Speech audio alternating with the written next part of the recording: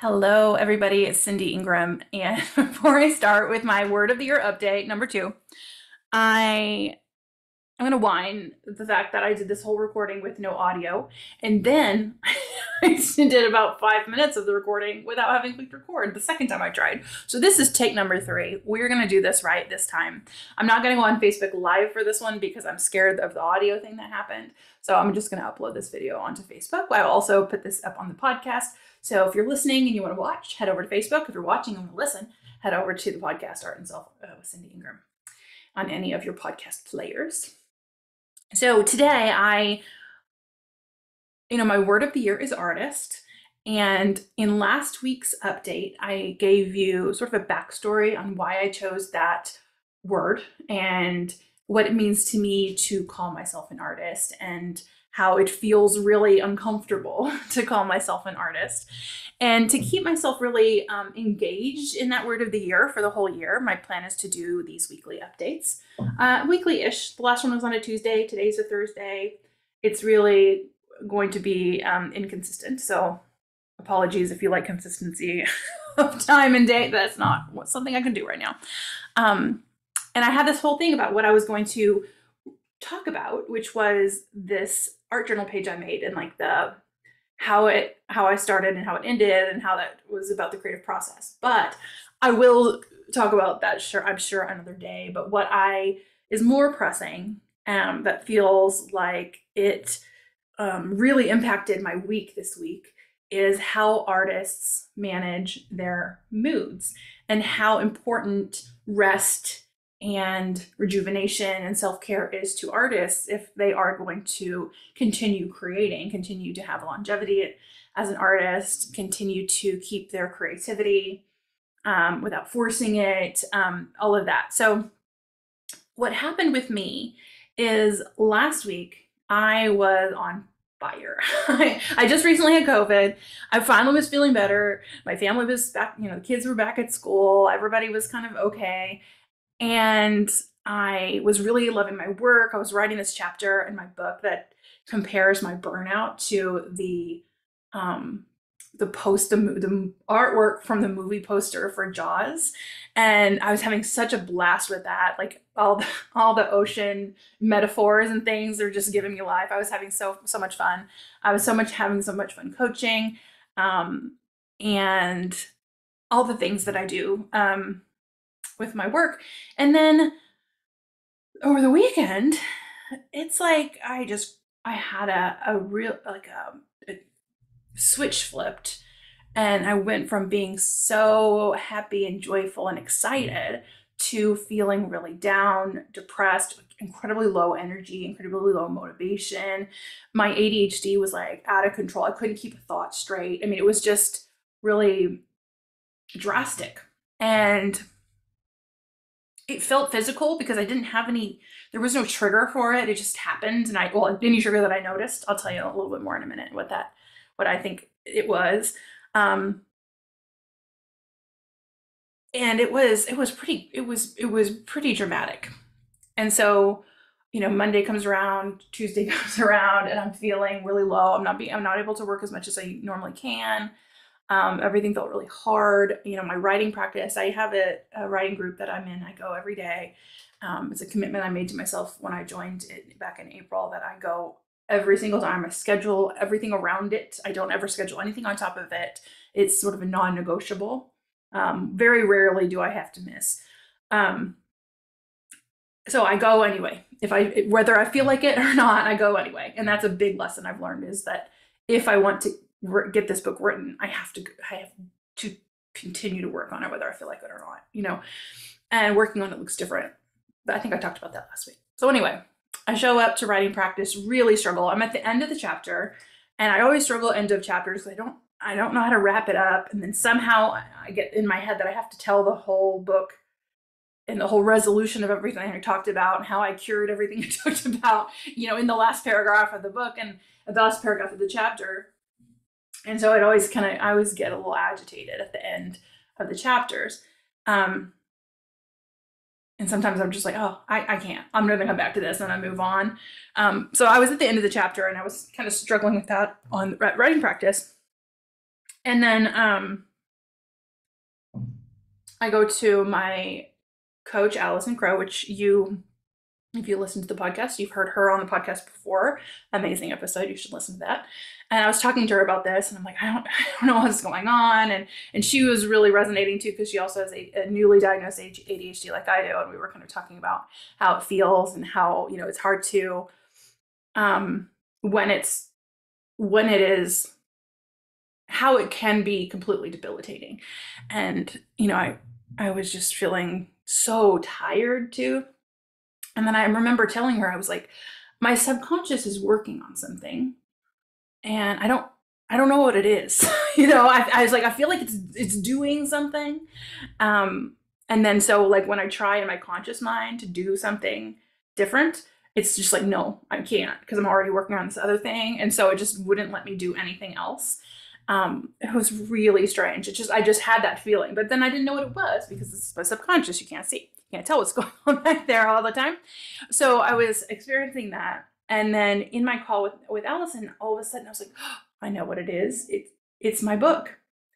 Um, I was hearing weird dog noises.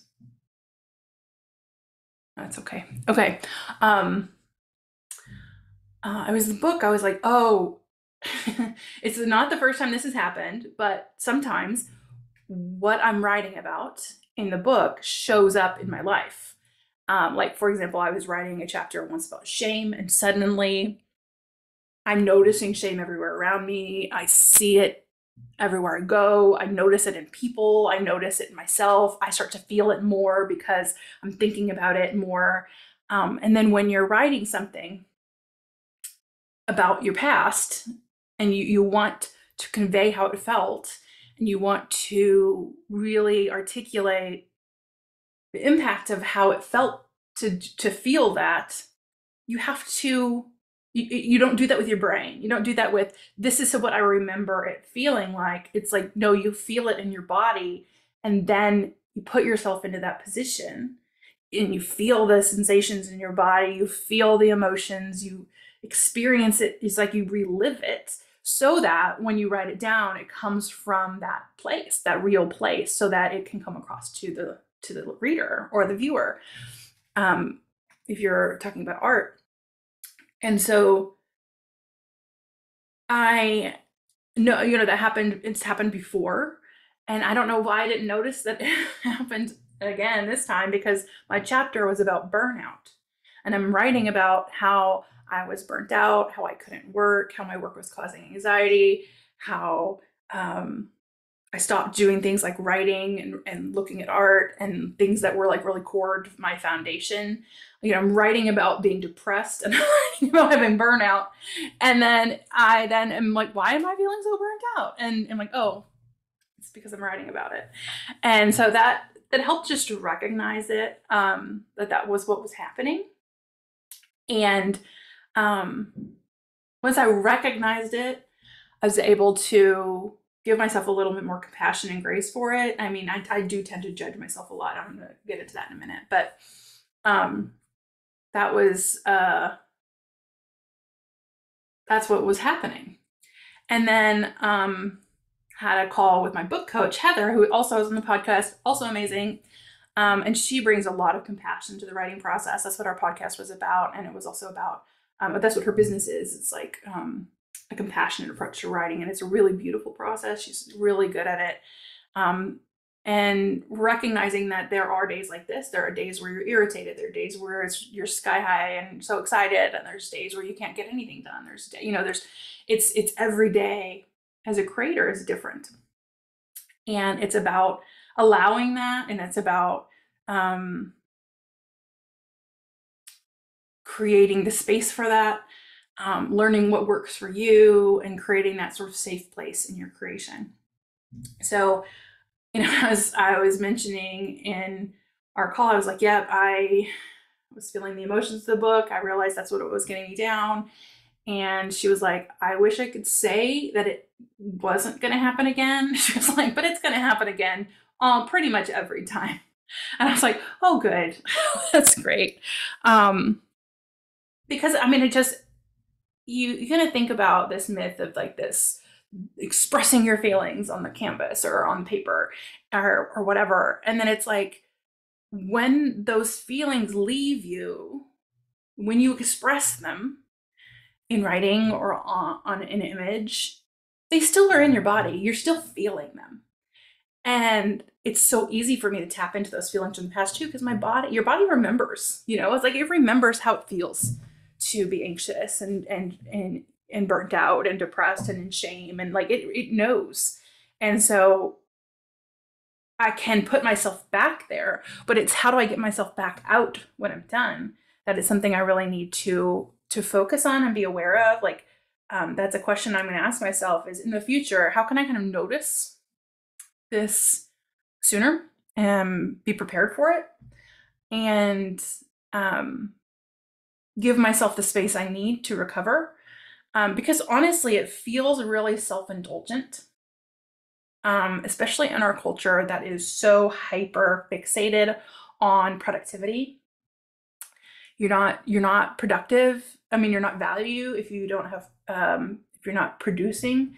You're not um, you know uh, time spent equals money. And so like if you're spending five hours playing minecraft which i'm sure i did in you know in one sitting in the last few days like uh, then you're not a valuable person and, and you're being self-indulgent and you're being lazy and and all the things. And so it's like but there is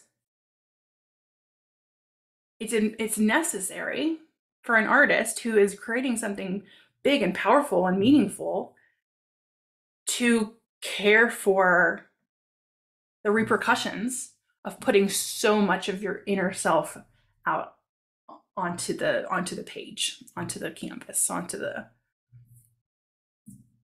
dance floor or what you know whatever it is that your your art form.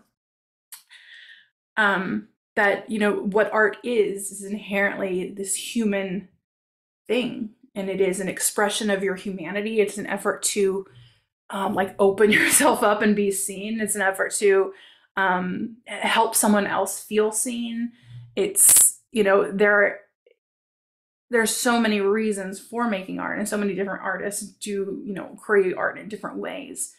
But to me art is um, an expression of of humanity and humanity is the wide range of feelings um, and emotions so i have uh, a quote that i don't think I read yet to you. I read it twice already, but not on this recording. Um, it's from Anne Lamott from Bird by Bird, which is an amazing book um, about writing. I can't remember if I already said this. Um, it's okay. It's fine. You can hear it twice. If, if, if you're hearing it twice, maybe you needed to hear it twice. So, anywho, uh, it's a book about writing. Excellent book there's a lot of fiction writing stuff in there, which wasn't necessarily relevant to me, but it would be. I mean, if you're a writer at all, I think you would find it really um, a great read, and even you can apply um, apply it to art as well. But she says, "My writer friends, and they are legion, do not go around beaming with quiet feelings of contentment." Most of them go around with haunted, abused, surprised looks on their faces, like lab dogs on whom very personal deodorant sprays have been tested. And that's really what, like, going back and reading that quote, I just finished the book on over the weekend. But going back, I always highlight on my Kindle, which then transfers over to Goodreads, and then I can go back and read through my quotes, which um, things I highlighted, which I really like to do. But that's really what it felt like. Like I felt haunted the first half of this week. I felt um, agitated. I felt like there was something I didn't see and something I didn't know, and it was just really uncomfortable. Um, and yeah, I know now. and then today I finished the chapter and then I feel great. So, I mean, that's crazy. That's not crazy. It's wild. I don't. I try. I'm, I'm trying not to say the word crazy so much. Um, okay. And then there was another great quote that I found. Well, not that I found that I used when I used to teach abstract expressionism, which was from Mark Rothko. And Mark Rothko is a very misunderstood art artist. From you know, a lot of people see his art and they're just like, you know, oh, it's just colors. I can do that, and they roll their eyes. But there is a lot of depth to his work that I think a lot of people don't see. And this quote by Mark Rothko, I love it because it really shows his intentions. And he says, the fact that people break down and cry when confronted with my pictures shows that I can communicate with basic those basic human emotions. The people who weep before my pictures are having the same religious experience I had when painting them. So, you know, that feeling, you know, he was fully feeling it. And when he was done painting, that feeling just didn't vanish, that it was still there. And so, how do artists um, manage that? And um, I believe that I can be an, a happier, happy person. I can be a whole, a well-adjusted person and still be an artist. I don't have to be tortured all the time. That, but yes, I there will be moments where I'm tortured, but that I can um, feel good too. And so that's something I'm thinking about is how can I, I strike that balance?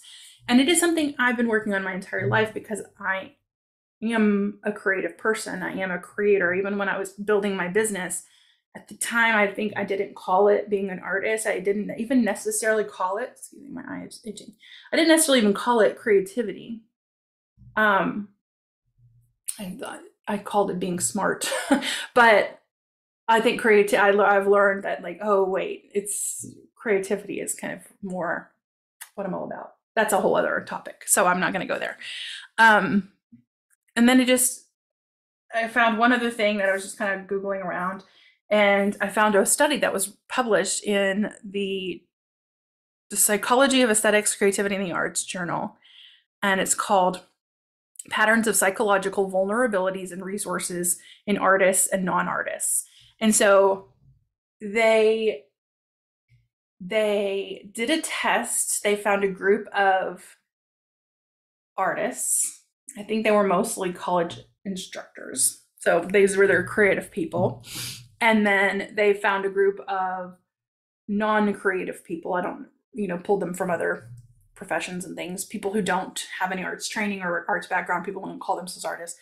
And they measured what they called psychological vulnerabilities, which are things like anxiety, depression, and stress. And then they measured their psychological resources, which they labeled or which are like well being, ego, resilience, and hope. So you've got like the the positive side and then the more sort of um or and then and then like negative side uh like the quote unquote negative emotions and quote unquote positive emotions which i don't i think that's a whole thing that's i don't i don't know about the term negative emotions for any emotion but um they didn't put negative and positive in this study uh but what they found is fascinating that artists the artist group had higher incidences of psychological vulnerabilities, more anxiety and more stress. And they but they also had more evidence of psychological resources. So they had higher thing higher um, uh, resilience and hope and things like that. So not only are they like they're experiencing the low lows, but they're all experiencing the high highs. And so I think that's fascinating. And I think that it's true.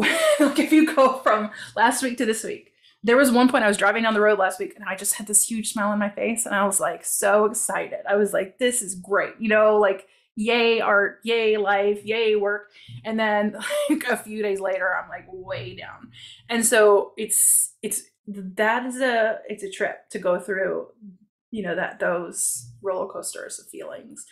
And I think for a lot of my life, I was trying to shut that out. I was trying to not feel the bad feelings, but I also, in suppressing the bad feelings, suppressed good feelings too. You know, like I was scared to show excitement. I was, you know, like there, it was like I could only stay here because I'll be judged either way. You know, that was a whole other thing, not related to being an artist. So, um, really fascinating, really is. And it gave me a lot of things to think about in terms of you know how do i still show up even though i am experiencing this how do i soothe myself how do i care for myself to recover when i am having to go through some rough content and then what support do I need? You know, I have my um my coach, I have my book coach, and I have my therapist. Went back to therapy because of the last incidents of this happening in the book when I was writing about shame. Like that was really hard to get through. And I was like, I think I need more support even. So I started to go see her. So I'm looking forward to seeing her. She hasn't I haven't talked to her since this all of this happened this week. Um so yeah, how can I get through it? What support do I need? And then um yeah, how can I recognize that it's happening and um sooner and prepare for it. That um so I think that was all there. I think there was one yeah, I think in my earlier video, I talked about how the stuff I'm writing now is stuff that I haven't really put a story to, I haven't processed fully yet because it's more recent. And so it's been really agitating to kind of go through and um, make make sense of the time that I'm talking about. Um, pick, you know, find the layers and all of that. Like it's it's it's, a, it's really deep work um, creating this this book. So um, I would love to hear from you on your thoughts on managing those um, emotions as an artist. And um, I think celebrating them too. That's another thing that I want to do is that I do like the capacity to feel and the capacity to be human and also communicate my humanity i think is an is a, is a gift to the world and i know i have received that gift from so many people. So I, I hold that that um, I hold that to such a high high place of reverence. Um, and so going through the process myself has made me even more connected to the authors of the books I read, the artists of the the artworks that I connect with, um, so that's really cool too. So thank you so much for listening and or watching this video. Um, hopefully the third time is a charm and everything goes okay with posting this. Um, but I will be back next week or so for another update. So thank you so much for listening. Have a wonderful rest of your day and I will talk to you later. Bye.